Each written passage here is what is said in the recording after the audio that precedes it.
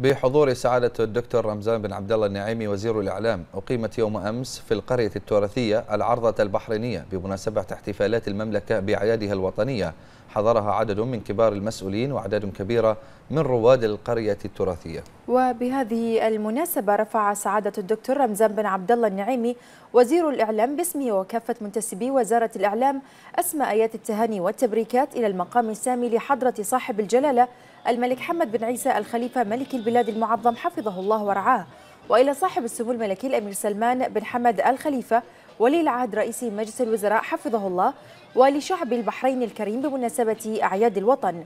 وأشاد سعادته بما تحقق لمملكة البحرين من تقدم وتطور في مختلف القطاعات في العهد الزاهر لحضرة صاحب الجلالة الملك المعظم أيده الله وبدعم ومساندة من صاحب السمو الملكي ولي العهد رئيس مجلس الوزراء حفظه الله. داعيا الله أن يحفظ جلالة الملك المعظم وأن يديم على مملكة البحرين أفراحها وأمنها واستقرارها في ظل قيادة جلالة الملك المعظم حفظه الله ورعاه.